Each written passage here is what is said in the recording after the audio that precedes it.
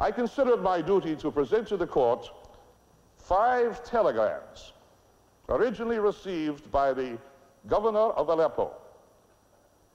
These telegrams categorically and unequivocally prove that Talaat personally gave the order to annihilate all of them, including the children. These are cipher telegrams. They have been decoded, translated, and authenticated. This telegram, dated September 16th, 1915, reads as follows. It has been previously communicated to you that the government has decided to destroy all Armenians.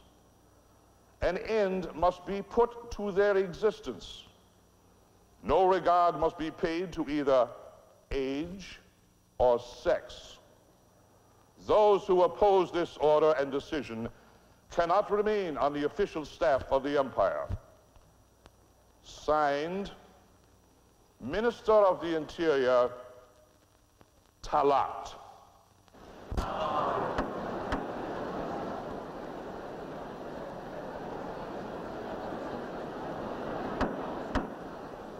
I believe that the jury understands and feels that the accused had the unconditional belief that Talaat was, in fact, the real author of those massacres. Your Honors, in the mind of the accused, Talaat was defined as responsible. In fact, it is precisely wherein his motivation lay, making him guilty. It is absurd to assume that Talaat was solely responsible. Based upon the testimonies that we have heard, Talaat, as Minister of the Interior, was the real author of these crimes, and it is naive to think otherwise. All the evidence has been presented. All the testimonies of the witnesses have been heard. Summations by the prosecution and defense will now be heard. A crime has been committed. You, the jury, must decide whether the accused is guilty or not guilty. Your Honors, gentlemen of the jury, I contend this was a premeditated crime. I demand the death sentence for the accused. Your Honors, gentlemen of the jury, if we accept the barbaric destruction of innocent people anywhere in the world for whatever reason, then no one is to be held responsible. And it would be referred to as an unfortunate incident. Asia Minor's past has always been bloody. Does Dr. Koenig mean to infer that this being the case, we, the rest of the world, should ignore these bloodbaths. Acts of this nature should be tried at international courts to prevent them from happening again. And that is why we are here today, in this very courtroom, gentlemen. If any of us had listened, it would not be necessary to be here today fighting for justice. Our law states that it must be proven that there were no external factors or compulsions motivating this crime.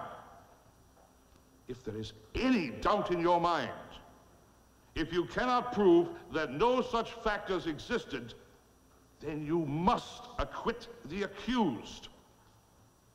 Not only is the life of the accused at stake, but the honor of Germany. I categorically deny that Talaat was a guest of Germany. I categorically deny that our government would welcome such a traitor coming under an assumed name.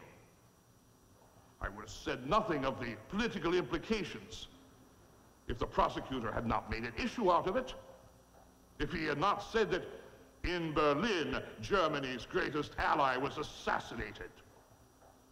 Talaat and his colleagues were allies of the German and Prussian militarists, not the German people.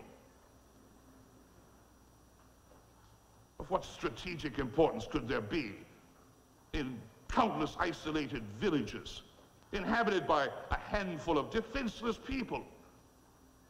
All this talk of strategic necessity is sheer nonsense.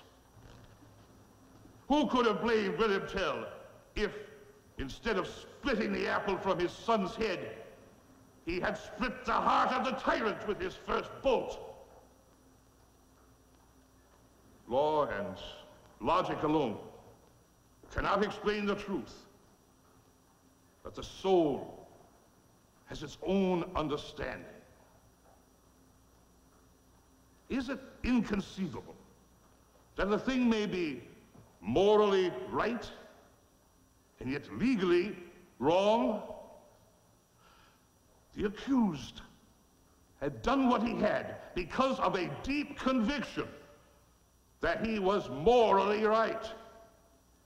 That was his only understanding, his only reality.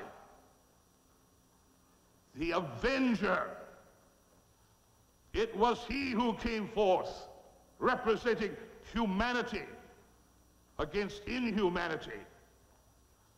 For a thousand years, the youngest son of Armenia has stood behind this man, carrying the banner of truth, vengeance, and humanity. He leaped against the fiend who decided and ordered the extermination of an entire nation. And now, gentlemen of the jury, you decide what took place in his soul at the moment he committed his crime. You decide whether he was responsible. And consider the eyes of humanity are upon you and your decision. And those eyes are the eyes justice. Your Honors, gentlemen of the jury, the defense rests its case. You have been instructed in your duties you will retire to the jury room. The court will await your decision. The court is recessed until the jury is ready to return its verdict.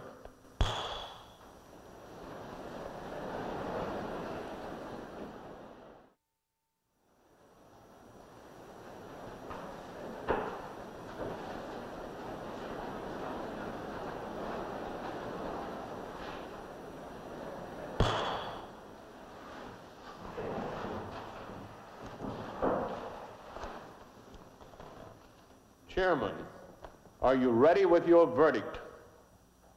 Yes, Your Honor. As to further, the accused is guilty of having killed Talaat Pasha, I, Otto Reinisch, chairman of the jury, with honor and conscience, testify to the jury's decision. No, not guilty.